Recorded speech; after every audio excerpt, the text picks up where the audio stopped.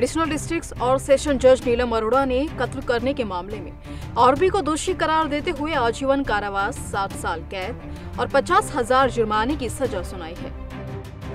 जुर्माना ना देने पर दोषी को तीन महीने और सजा काटनी होगी।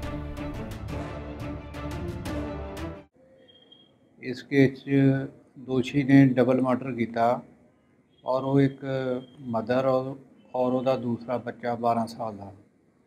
ਇੰਟਰਸਟਿੰਗ ਗੱਲ ਇਹ ਆ ਵੀ ਇਹ ਦੋਸ਼ੀ ਦੇ ਫਾਈਲ ਤਫਤੀਸ਼ ਜੋ ਹਿਮਾਚਲ ਪ੍ਰਦੇਸ਼ ਨੇ ਪੁਲਿਸ ਨੇ ਕੀਤੀ, ਉਹਦੇ 'ਚ ਇਹ ਗੱਲ ਸਾਹਮਣੇ ਆਉਂਦੀ ਆ ਵੀ ਇਹਨੇ ਆਪਣਾ ਇੱਕ ਤੀਸਰੇ ਇਹਦੇ ਤੀਸਰਾ ਮਰਡਰ ਜਿਹੜਾ ਕਿ ਇਸ ਲੇਡੀ ਦਾ ਦੂਸਰਾ ਵੱਡਾ ਬੱਚਾ ਸੀ 14 ਸਾਲ ਉਮਰ, ਉਹਦਾ ਮਰਡਰ ਇਹਨੇ ਹਿਮਾਚਲ 'ਚ ਕੀਤਾ ਪਹਿਲਾਂ। ਉਹਦਾ ਮਰਡਰ ਕਰਨ ਤੋਂ ਬਾਅਦ ਇਸ ਮਾਂ ਨੂੰ ਤੇ ਇਸ ਬੱਚੇ ਨੂੰ ਜਿਹਦੀ ਉਮਰ 12 ਸਾਲ ਆ, ਇੱਥੇ ਗੜਸ਼ੰਕਰ ਲਿਆ ਇੱਕ ਫੈਕਟਰੀ ਉਸ ਫੈਕਟਰੀ 'ਚ 10 ਦਿਨ ਇਹਨੇ ਇਹਨਾਂ ਨੂੰ ਰੱਖਿਆ।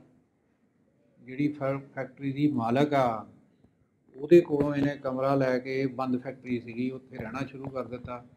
ਉਹਨੇ ਇਹਨਾਂ ਨੂੰ ਦੇਖਿਆ ਉੱਥੇ ਰਹਿੰਦਿਆਂ ਨੂੰ। ਕਤਲ ਤੋਂ ਇਹਨੇ ਕਤਲ ਕਰਕੇ ਉਹਨੂੰ ਫੋਨ ਕੀਤਾ ਵੀ ਆ ਕੇ ਚਾਬੀ ਲੈ ਲਓ, ਮੈਂ ਕੋਈ ਕਮਰਾ ਅਰੇਂਜ ਕਰ ਲਿਆ ਰੈਂਟ ਵੇਸ ਤੇ। ਪਰ ਜਦੋਂ ਨੈਕਸਟ ਡੇ ਉਹ ਲੇਡੀ ਆਈ ਉਹ ਦੇਖਿਆ ਵੀ ਇਹ ਉੱਥੇ ਲੱਗਾ ਹੋਇਆ ਸੀ ਸਫਾਈ ਵਗੈਰਾ ਕਰਨ ਐਵੀਡੈਂਸ ਰਿਮੂਵ ਕਰਦਾ ਸੀ ਉਹਨੂੰ ਸ਼ੱਕ ਪੈ ਗਿਆ ਪੁੱਛਿਆ ਬੱਚੇ ਕਿੱਥੇ ਆ ਤੇ ਇਹਨੇ ਮੋਟਰਸਾਈਕਲ ਤੇ ਉੱਥੋਂ ਮੌਕੇ ਤੋਂ ਭੱਜ ਗਿਆ उल्लेखनीय है कि गढ़शंकर पुलिस ने गोपाल सीड फैक्ट्री की मालकिन रेणु चौधरी के बयानों पर 27 सितंबर साल 2017 को मामला दर्ज किया था, जिसमें बताया गया था कि उनकी फैक्ट्री में एक महिला और एक बच्चे की दर्दनाक मौत हुई है।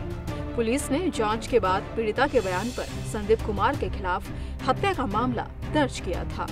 वहीं पुलिस ने आरोपी को काबू कर मामले की जाँच शुरू कर दी है।